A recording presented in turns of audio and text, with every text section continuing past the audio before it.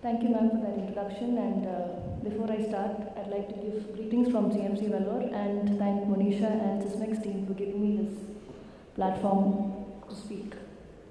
So my topic for today is on platelet aggregation using the CS series CMC experience. So we start off with a case history.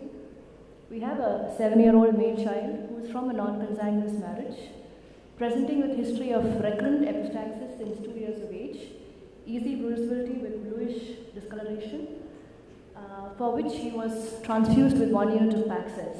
And we also have a family history of a younger cousin brother who is having similar bleeding complaints. So investigations wise, his hemoglobin was 12.3, a platelet count of 2 lakh 10,000, a bleeding time which is prolonged by more than 15 minutes, an abnormal closure time on the PFA 200. You're seeing abnormal closure time with collagen ADP and collagen epinephrine, and the clot retraction is poor. We ran this patient on the aggregometry, the standard aggregometer that we have, and we are seeing a response with ristocetin, but with collagen, ADP, and epinephrine. The patient is showing an absent response. And we did a flow cytometry showing an absent expression of CD41. Any diagnosis? We have a patient with a prolonged bleeding time. We have abnormal PFA closure. We have a patient who is giving a response to ristocetin, absent response to all the other agonists, and absent expression of CD41. I think the diagnosis is clear. We are dealing with a patient with Glanzmann's thrombasthenia. Okay, so what are the platforms which helped you in making that diagnosis? I think the first and the foremost thing is history. You need a detailed clinical history to differentiate a bleeder versus a non-bleeder. Okay, then the other things that helped us in making a diagnosis, prolonged bleeding time, prolonged PFA 200, abnormal platelet aggregometry, and a flow cytometry showing absent expression. So coming to prevalence of inherited bleeding platelet disorders, I have both Western data and CMC data. So this is a worldwide survey which was done to determine the percentage of inherited platelet disorders and this was published in the Journal of Thrombosis and Hemostasis in 2014. And in this study there were 37 countries which participated in it and majority of these participants were from UK, US, Canada and Australia. And what they found was that the G1 signaling defect was the most common of 31.3%. The collagen receptor defect and the primary secretion defect was 10.4. But of interest is that the severe forms of platelet dysfunction, when I talk about severe forms of platelet dysfunction, I'm referring to Glanzmann's thrombasthenia and Bernard-Soulier syndrome. What's happening? The percentage is actually less common.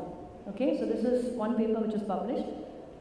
Another survey which was done, and here they said that the severe disorders of platelet dysfunction, that is again Glanzmann's thrombasthenia and Bernard-Soulier syndrome, where the worldwide survey was less than 1000, whereas disorders of receptors and signal transduction worldwide was less than 100.